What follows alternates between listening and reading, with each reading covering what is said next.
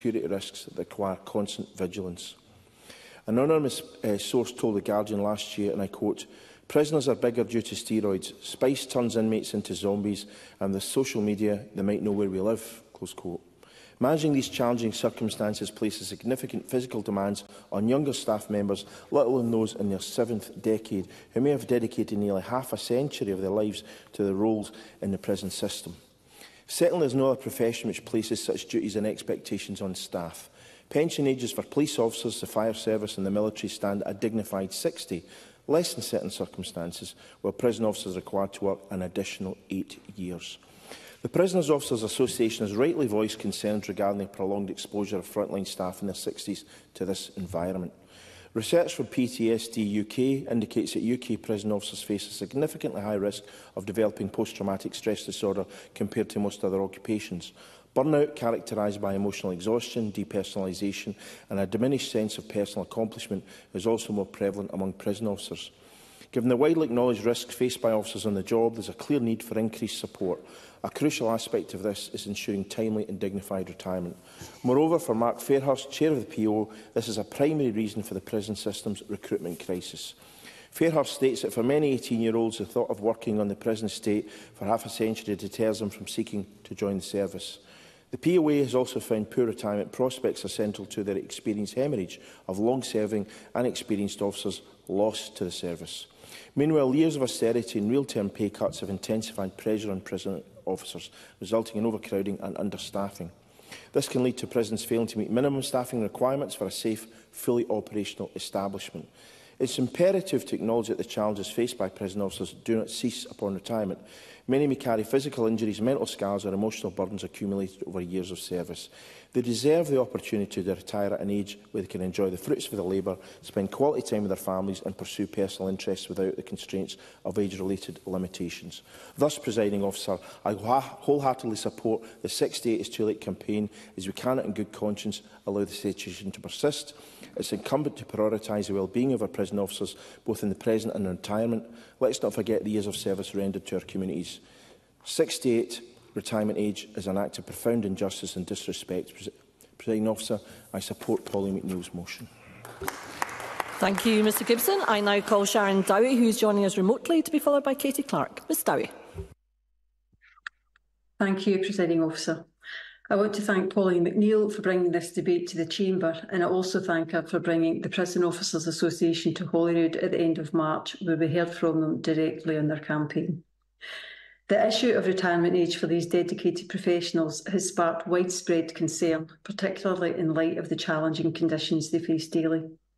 The Scottish Conservatives understand the demanding nature of the work carried out by the prison officers, and we fully understand and appreciate the sentiment that six to eight is too late for officers to be conducting frontline work.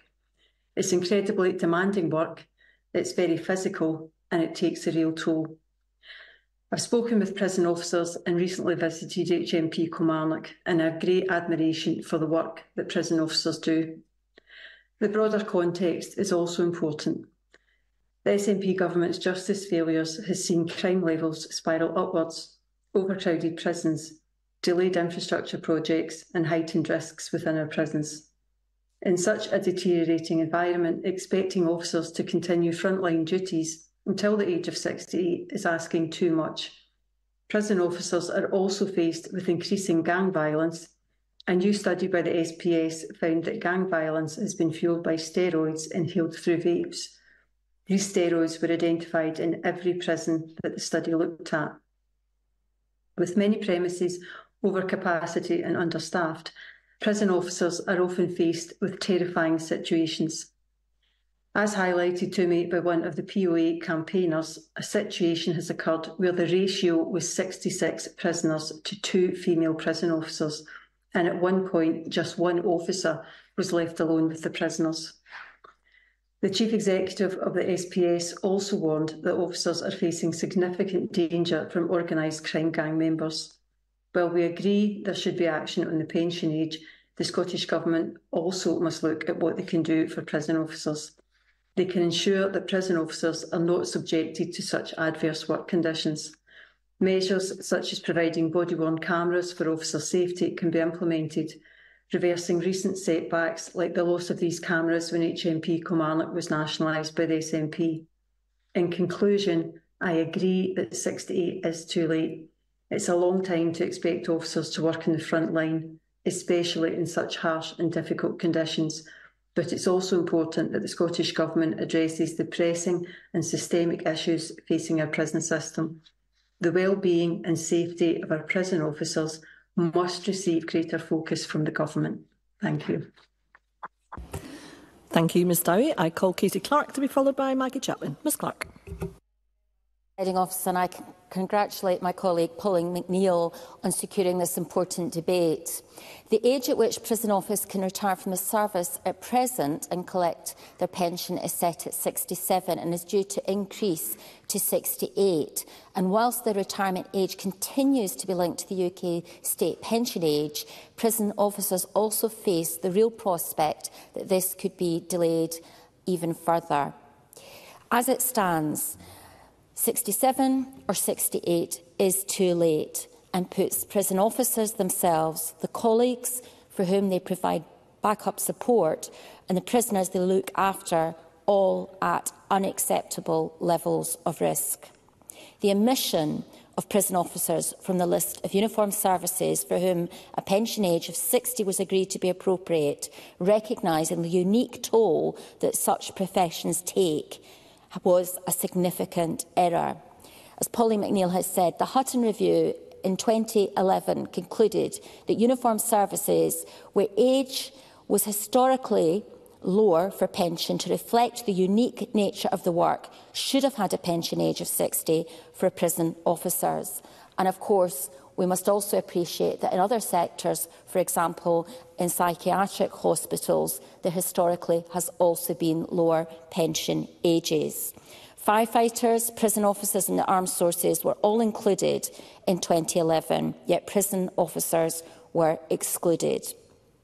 The current retirement age fails to recognise the unique pressures on prison staff. And it's abundantly clear from speaking to prison staff and reading the many responses they provided to the Prison Officers Association all-member survey on this issue that the situation as it stands is untenable, untenable and unsafe. Over 90% of prison officers Sir, association members surveyed said they believe they will not be able to continue to work until the age of 68, with more than 95% fearing that they will need to leave their job before they reach this age due to the considerable physical and mental health challenges they face during their work. In the words of one prison officer, by the time we reach 68, we will already be suffering from ill health, hip and knee issues, and the stress that comes from working in the job.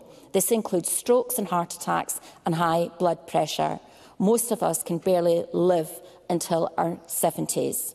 Another describes how they are already struggling to cope at the age of 49 and the injuries they frequently receive in the course of their duties are taking longer to heal from.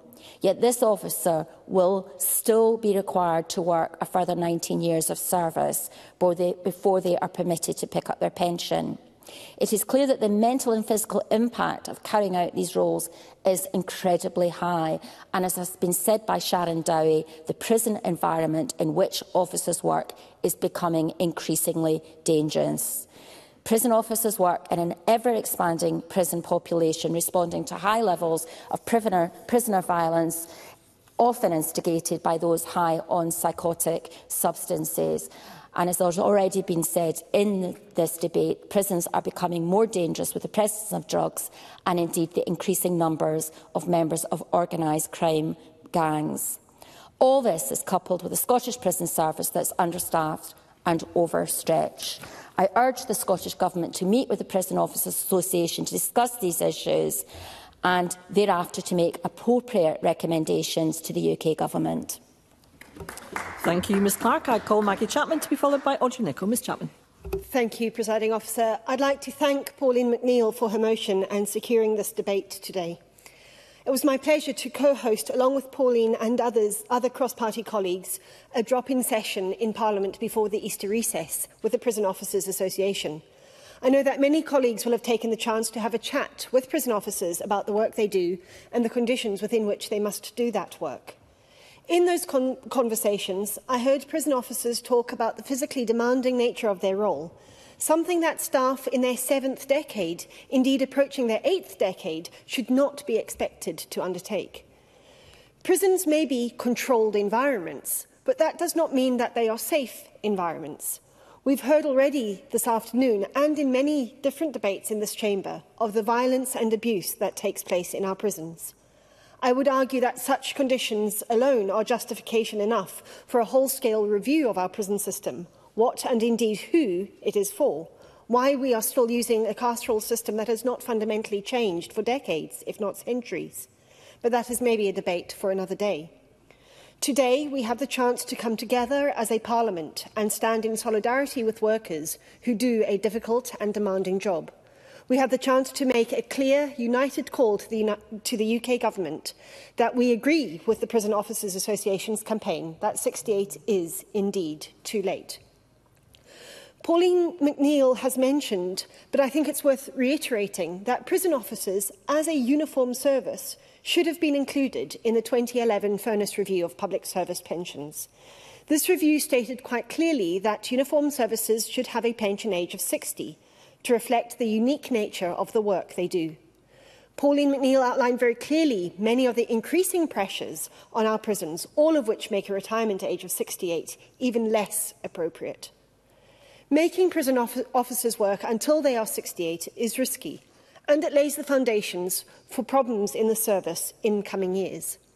Experienced prison officers might decide to leave their roles in their 40s or 50s because they want to get another job before getting close to 60 when employment prospects will decline.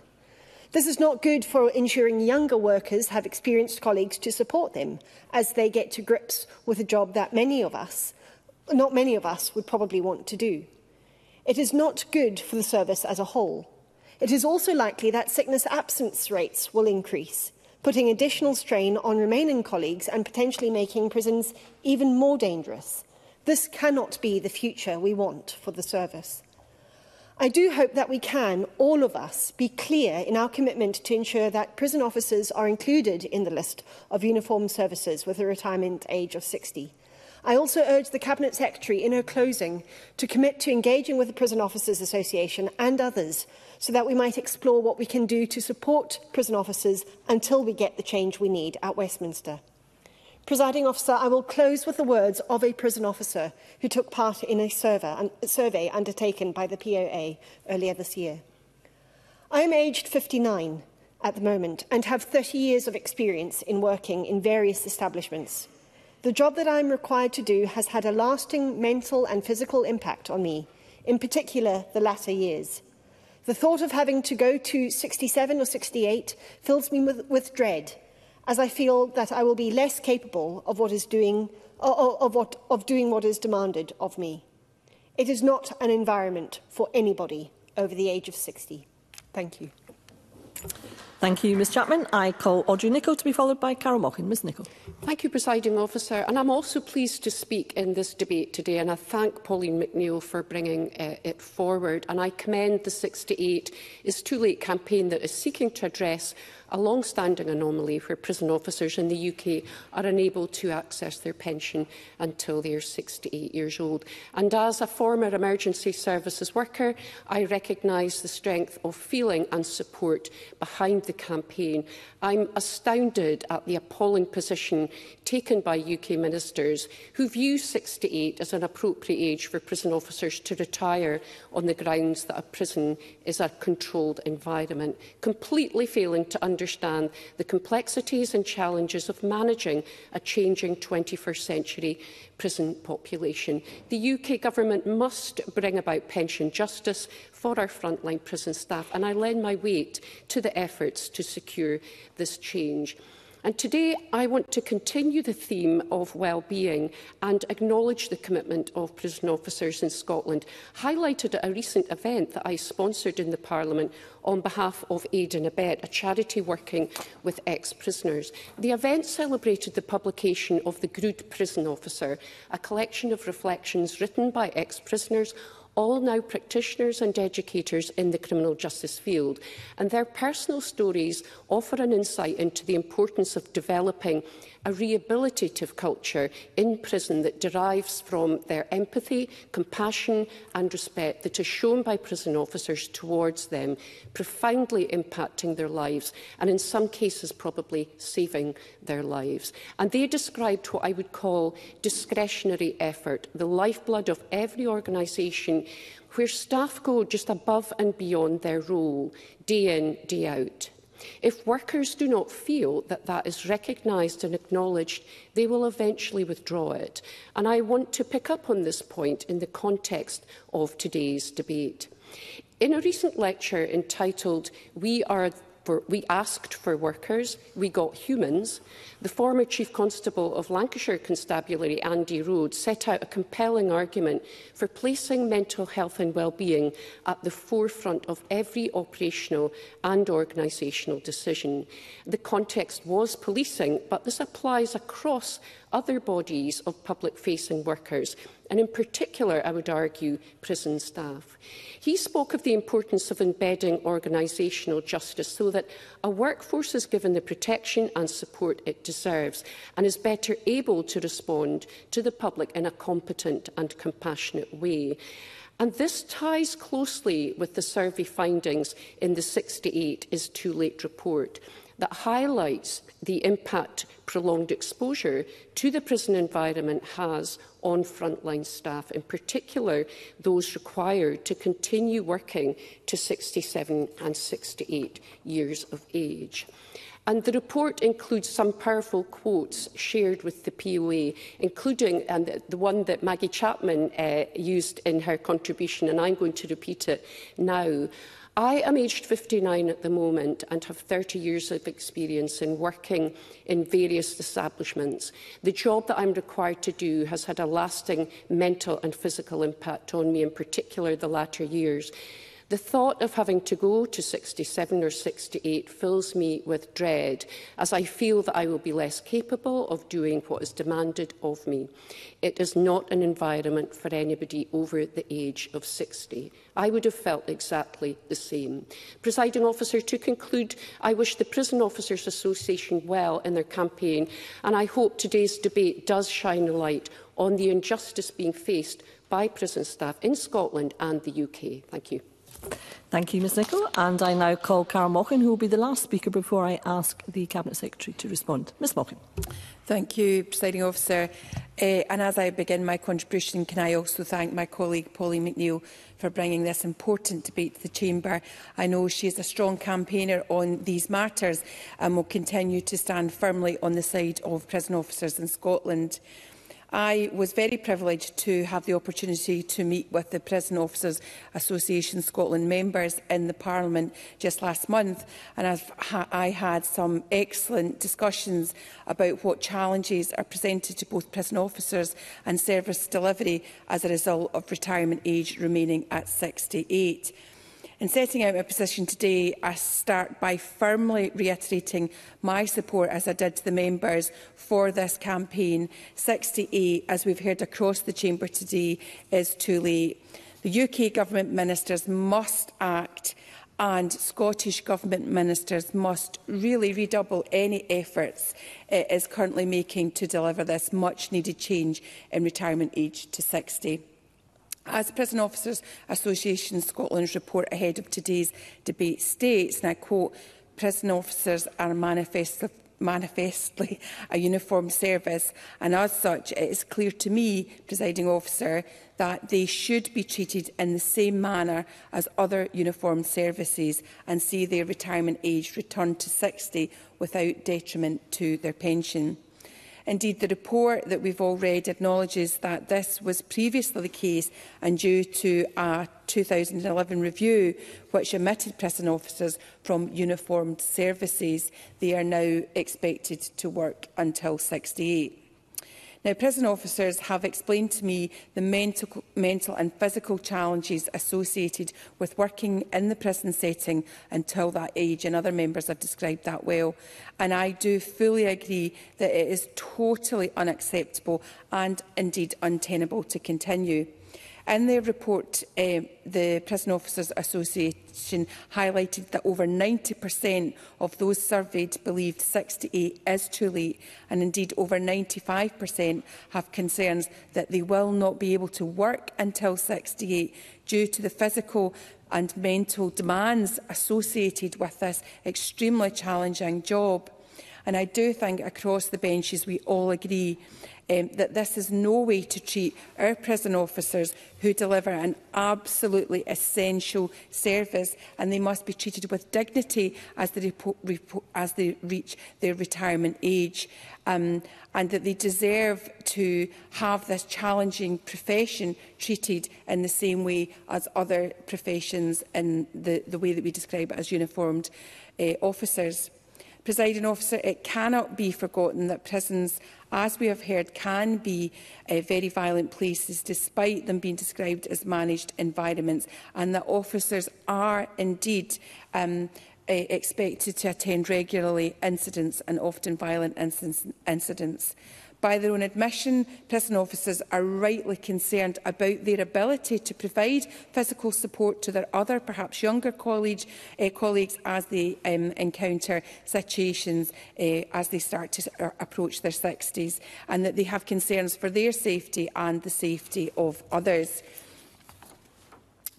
Um, we really cannot continue exp to expect, or we hope that the UK government can take a position where they understand that this is a risk to the physical and mental health of these officers and others. And the UK government must act, it must act, and it must listen to others who are lobbying them. And I hope that the Scottish government will continue to do that as constructively as they can to achieve progress. In concluding, presiding officer, I thank Polly McNeill for bringing the debate speak to the Chamber and also to all the other members who I know support this motion. Thank you, Presiding Officer.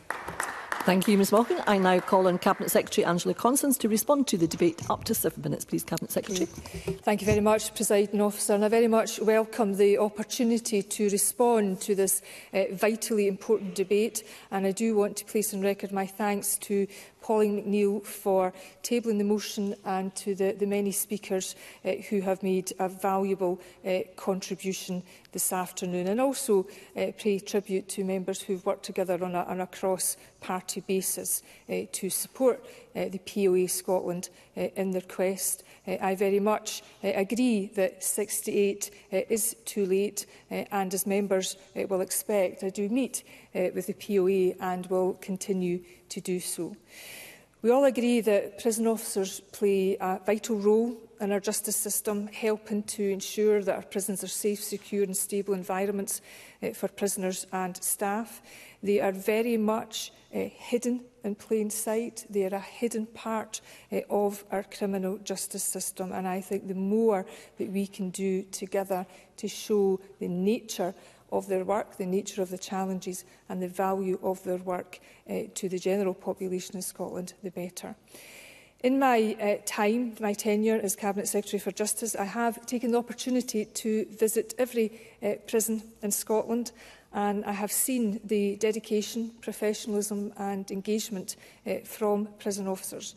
And whether it was in my past as a prison-based social worker or my present uh, as a Justice Secretary, I have seen them working in a way that is person-centred, inclusive, trauma-informed, rights-based and every day that makes a difference to people's lives. And I was always struck, but not surprised, by the words of an individual in custody in HMP Greenock, uh, quoted in a recent HMIPS report, when they said that staff have been exceptional in helping me through my sentence. All the staff are wonderful and easy to speak with. This is my first time in prison and I have felt supported at each step of the way. And of course, Audrey Nicholl uh, eh, spoke to the work of the Good Prison Officer uh, project, where people uh, with experience of incarceration spoke very powerfully in their personal testimonies about how prison officers have helped them turn their life around.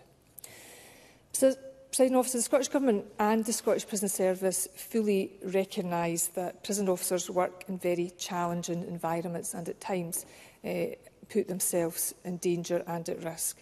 We have a high and rising prison population and behind the numbers as members uh, have accurately reflected there's increasing complexity uh, whether that's you know, the increased numbers in custody with links to serious and organised crimes, challenges around drugs and psychoactive substances, and increased demands for social care due to an ageing uh, eh, prison population. Uh, And the Scottish Government and partners across the justice sector, including SPS, we are fully committed uh, to tackling these issues and reducing uh, the impact and harm caused. And you'll be relieved, uh, eh, President Officer, I'm not going to repeat the content of the two previous uh, statements I've made uh, to Parliament on these matters, but I very much recognise that prison officers carry out frontline operational duties, including control and restraint, until the state pension age, which is due to rise to 68. And this is hugely challenging and carries with it significant stresses and strains. And of course, the Scottish Prison Service take the safety and security of its staff extremely seriously. It is a matter that I discuss with the SPS on a regular basis in terms of staff um, well-being. And SPS provides support to staff to remain at work in meaningful employment when they cannot undertake full contractual role, including workplace adjustments and redeployment to alternative roles across the organisation. And every effort it eh, will be made to accommodate requests for a change or adjustment where the request is evidence-based. However, that does not in any way detract from the point of principle that prison officers it eh, deserve parity with other uniformed services, because it is well established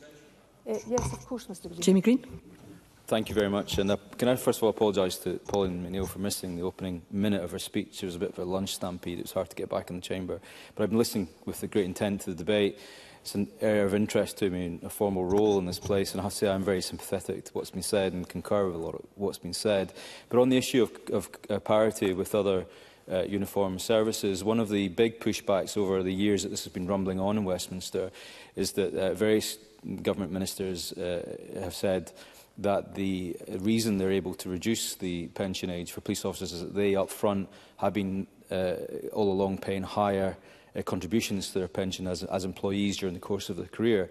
Is it the case in Scotland that police officers here do have to pay higher contributions to allow them to retire early? And would that have to be the case, therefore, for prison officers as well? It's more of a technical question rather than a policy-intended uh, one. Cabinet Secretary. Um, President Officer, I'm happy to write to Mr Green on that matter because it is indeed a technical matter. Um, in terms of prison officers, they do not have a separate pension scheme. Um, they are part of uh, that UK-wide civil service pension scheme that all devolved civil servants um, are part of. Uh, what I would say that was deeply regrettable is that the Hutton Review, in my opinion, what it did not take account of was the 1952 Prisons Act that said that prison officers should have equal protection and privileges uh, and rights and authorities as that of police officers. Um, but there was no account um, taken of that. Um, Presiding officer, it is of course uh, well established and many members have articulated it that occupations, some occupations are restricted by capacity and age due to the physical demands um, of those roles, making it untenable uh, to expect them to uh, their duties to be carried out until state uh, pension age. And this was recognised by the Public Service Pensions Act in 2013, which at that time set the age for 60 for firefighters, police officers and armed forces. Prison officers, as I say, don't have their own uh, dedicated pension scheme. They're part of that wider UK civil service uh, pension scheme. But over the years, the Scottish Prison Service and the Scottish Government have strongly supported the position of POA Scotland on this issue. It, eh, we oppose the changes to public pensions following the Hutton inquiry and in particular the, the requirement that prison officers it, eh, should have the normal retirement age of 68. Successive Cabinet Secretaries for Justice have made representations uh, to the UK Government. We will continue to do so, raising concerns uh, around the physical demand hands of, of the prison officer role. The UK government have consistently maintained uh, their position uh, that there is not, and this isn't my position, it's their position, that there's not a sufficiently strong case to make an ongoing special provision uh, for operational prison staff. However, I think the testimony and the contributions uh, of members across this chamber today uh, would, I politely state, uh, beg to differ. So to conclude, uh, Presiding Officer, I know time is pressing. I do very much want to acknowledge the work of POA Scotland uh, on behalf of their members. I would like just to, to point out that prison officers in Scotland do have the right to strike unlike um, England uh, and Wales. They have a very constructive uh, partnership agreement with the Scottish Prison Service uh, that has been in operation um, for over uh, 20 years. And I uh, very much uh, welcomed the, the POA's support in bringing HMP Kilmarnock uh, into the Scottish Prison Service uh, family.